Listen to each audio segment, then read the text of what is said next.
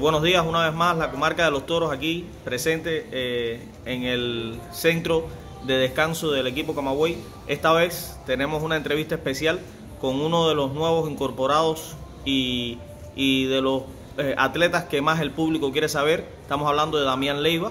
Eh, buenos días, Damián, ¿cómo estás? Buenos días, todo bien, gracias a Dios. Estoy preparándome aquí para la venida de la Serie Nacional. Bueno, Damián, sabemos que tu, incursión en el béisbol no fue como lanzador inicialmente, te conocimos en las categorías inferiores. ¿Cuándo, ¿cuándo es que llegas al béisbol en Camagüey?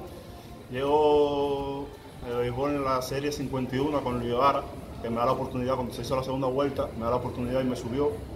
Y ahí me desarrollé como sobre todo y segunda base mayormente. Después el otro año igual, el último año de él, jugué como jugué poco ese año, pero igual como en posición y el, y el primer año con Lombillo.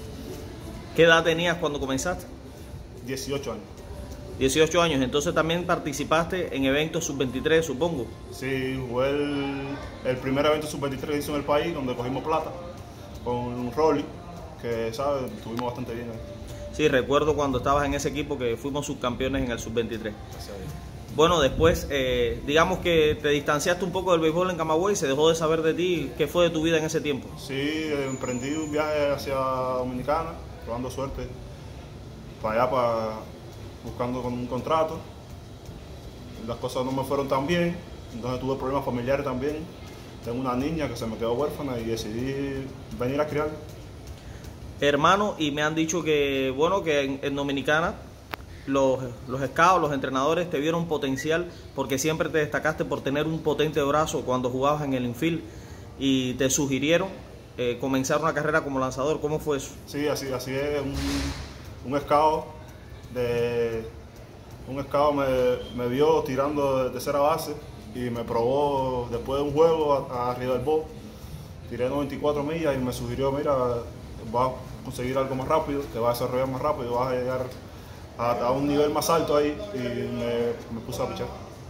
¿Participaste en algún tipo de preparación especial, alguna academia de las que se estilan en estos lugares? Sí, sí, fui a, fui a muchas, casi todas fui.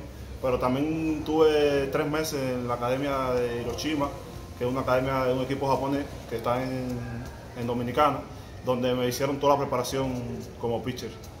Muchos de nuestros aficionados creen que tú eh, vas a salir de la segunda base o del shortstop directo al montículo y no saben estos datos que les interesa mucho.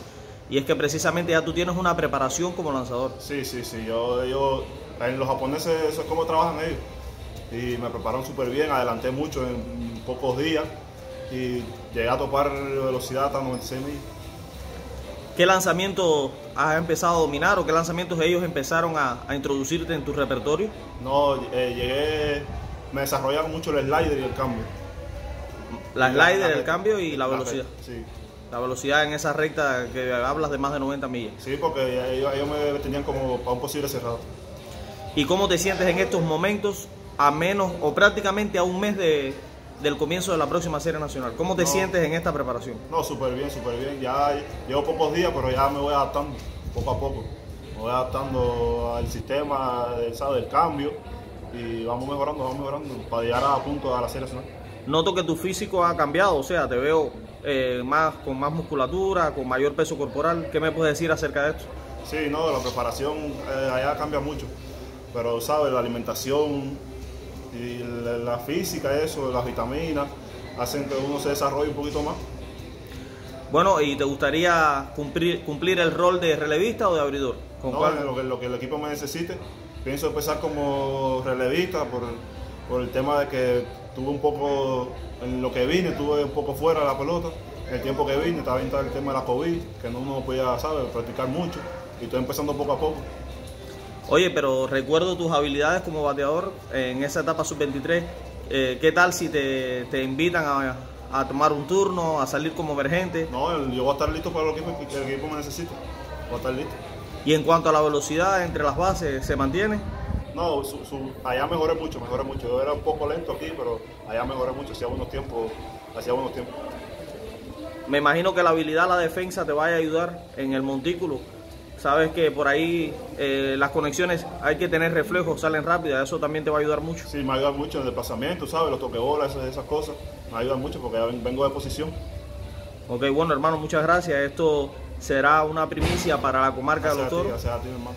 Eh, es un canal que tenemos para precisamente divulgar el trabajo de nuestros atletas y de nuestros entrenadores y bueno pues en muchos éxitos en la próxima campaña. gracias.